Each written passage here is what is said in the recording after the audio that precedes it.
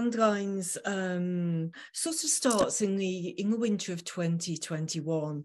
Um, it's in the final lockdown in the UK um, when we've all been confined to to our locality, just just held in our in our little local areas and not able to walk too far um, and not far enough for moth. As we discovered when we walked the Southwest Coast Path, Moth's illness, a neurodegenerative disease for which he'd been told there was no treatment and no cure. When we'd walked those 630 miles of those headlands, um, we'd found that his health improved in ways he'd been told were impossible.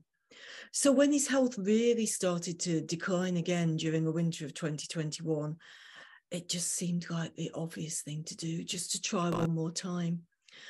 But Moth Moth was starting to accept that, um, that, that, the really awful end stages of his illness were getting closer, and that maybe, maybe actually he could accept that that that was going to be what was going to happen.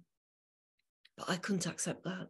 I couldn't accept that that we should just allow this illness to overtake us without trying just one more time. So there was one night when I was just putting some logs in a log basket. Behind our log basket is our bookshelf, and I knocked some books off the bottom shelf of the bookshelves. And they were the guidebooks to, to paths that we'd walked. Guide the guidebook that we'd used for the Southwest Coast Path. It was a a fat guidebook that had been distorted by water. The edges of it were were rippled like the beach when the tide goes out. And in it, there were pieces of paper and bits of string and feathers and sand and and the feeling of the coast path. And then alongside that, there was another guidebook. There was a guidebook to Iceland and a long walk that we'd taken there. And I opened that and it smelt like sulphur and ash and volcanoes. And then there was this other tiny little thin guidebook, one that we'd never used, but it was the guidebook to Cape Wrath Trail. And in that moment, I just knew, I knew that if anything was going to encourage Moth to try one more time, it was going to be that walk because it was a place he'd always wanted to go, always wanted to spend time, but never had enough time. So I left it around the house. I left it in the kitchen and in the bathroom and everywhere so, that you see it and eventually eventually he picked it up and said yep okay we're going north. And that was just the start the start of of what became so much more than just a walk. It became an adventure. It became an experience of a changing country of a changing landscape and of us changing within it.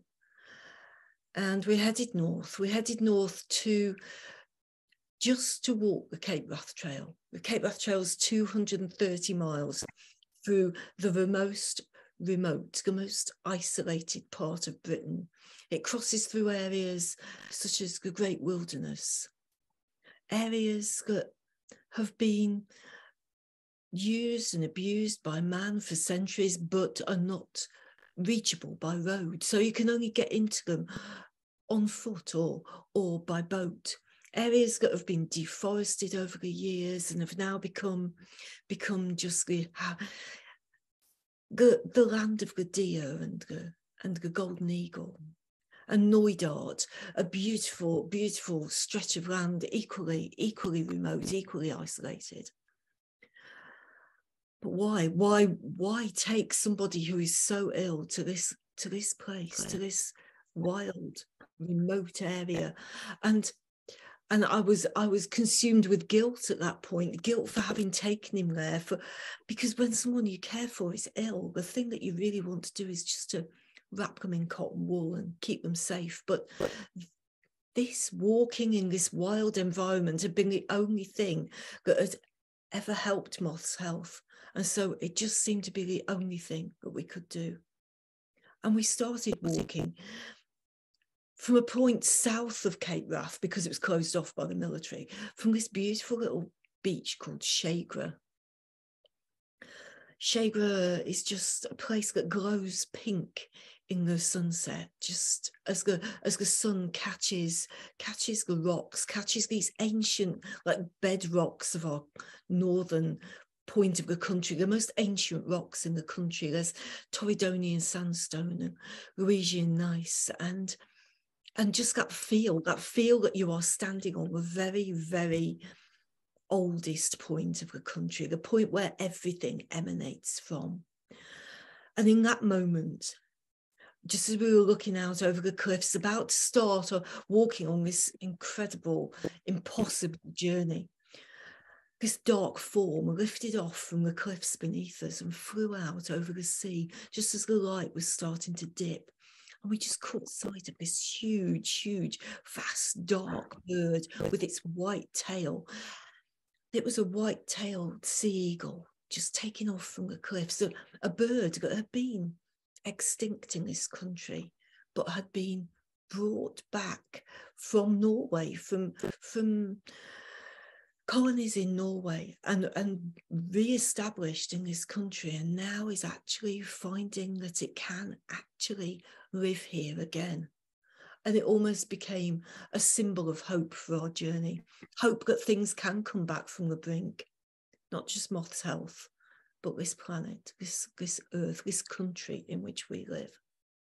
Because prior to this walk, I thought actually climate change hadn't reached us, it hadn't reached our shores. But this change, this walk, it changed how I felt about that. It changed how I viewed everything with regards to this landscape. We walk through this incredible remote land, through a land that's really, it belongs to the deer, this, the deer that roam on the hillsides and are such a, a symbol of freedom and space and and that expression of what we believe we still have. The land of the golden eagle that, that just inhabit those same glens, that, that share that space. And it was during that time, during that time, through that boggy, wet, incredible landscape, that we were walking out of a village on the on the west coast of uh, of uh, the north of Scotland. And suddenly we were being passed by, by lots of young people, people in their early teens, their early 20s, passing us, passing us by on a Wednesday evening, just heading out into the wilderness. Seven miles away from the coast, away from the village, away from habitation. Eventually, we had to say, Where are you going? Where are you all going on a Wednesday night? And they said, Oh, we're just climbing Suilven. Suilven is this incredible mountain in ascent just like seems to like form up out of the land into into like a fin of rock a dark fin of rock and it's notoriously difficult to uh, difficult to climb. But these young people were all heading up this mountain on a wednesday night. We were saying what are you doing? Why are you why are you doing this? And they said, Well, there's nothing to do in the village on a Wednesday night. So we thought we'd just go up the mountain. A strange, a strange and unexpected answer, I have to say. But I've come to realise since that, that that is an absolute result of Scotland having the Land Reform Act, having a right to access the land for their for their cultural and the cultural knowledge of the landscape and its heritage, their natural heritage. Do we have that elsewhere in the country? I don't think so. But also, do we see our young people accessing the mountainsides, walking into the environment simply because there's nothing else to do in the village on a Wednesday night? I don't think so. But I held that idea as we were walking along. I held it sort of in the back of my mind as we walked into this this incredible landscape a place that is just full of water and bog. And we headed down into a into a valley bottom late in an afternoon as the rivers were rising and water was pouring from the skies in just torrents of rain we forded a river and headed into a glen that was just becoming wetter and wetter and wetter by the moment. And as we did so, partway through this glen that we had to get to the other side of and and ford another river before we could get out, Moth fell, cutting his head. dazed, confused. We had to put the tent up and we sat in the tent on the only piece of dry ground, unwaterlogged ground that we could find. And we sat in the tent for two days as the rain just pounded down, turning the hillsides into waterfalls, turning the river into a huge cascade. But then it finally stopped, and I opened the tent flaps, and there in that incredible, incredible valley of water, the sun cut beneath the, the cloud line and turned the whole valley into a prism of light. And on the other side of this patch of dry ground was a deer. It was a stag, and he shook himself like a, like a dog when it comes out of the bath. He shook himself, and the, the water's droplets around him turned into a, a rainbow of light in this valley of light. And in that moment, there was a huge, huge sense of being part of the landscape, not being observers of it, not watching a scene, but being as much part of that landscape as the, as the deer, as the mountainside, as the water itself. And I held that thought too, and I took that with that thought of those of those young people climbing that mountain as we passed on and on through through Scotland, through some of the most beautiful parts of this country, some of the most wild, desolate parts of this country, and held on to that idea of connection and how you have to feel as if you are part of the landscape before you can feel connected to it and then we headed south in a, in a walk that, that turned into something epic, into an epic exploration of the land and not just a walk across it. We walked south along the West Highland Way through through the borderlands of Scotland to to the borders of, of the country, to the border between England and Scotland and down onto the Pennine Way. The Pennine Way, 260 miles of moorland, of blanket bog that cover this, this spine of England in this incredible thing that we have in such enormous vast quantities in this country blanket bog which is an incredible incredible asset in this time of climate change because it holds millions and millions of tons of carbon locked there in these boglands that cover the, moorlands of the Pennines.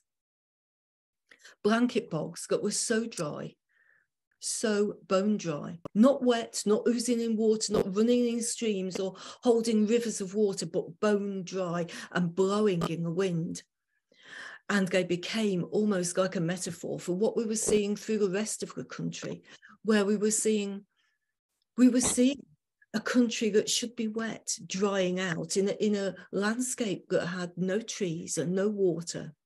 And we were seeing livestock dying. There were dead sheep uh, on some days dead sheep every 100 meters dead rabbits. And the Pennines became that view of the Pennines of, of a land that should have been wet and oozing and holding holding all that moisture as being a place that was actually becoming the opposite. A place where thousands of feet over, over decades had, had worn that, that that blanket bog of peat had worn it away. And that peat and blanket bog was now not becoming a carbon locker, but becoming a carbon emitter. And it made us realize that actually this landscape in which we live is changing so quickly. Um, and unless we actually view it, unless we actually see it, we can't see how it's changing. And even to the point where the dreaded midges of the north of Scotland are actually now moving south and they're moving right down south to the south of the Pennines. And that in itself should be something we should all fear. But how can we fear it if we don't see it, if we can't actually see it? And that brings me back to go to those people that we saw, those young people in Scotland. And they have access to the countryside and they can see it and they can feel it and they can tell what's happening in it. If the rest of us in the rest of the country don't have that access, we can't tell how the country is changing. We can't tell how the midges are moving. And if the midges are moving, how long then before it starts to affect our lives and we actually become the cuckoos ourselves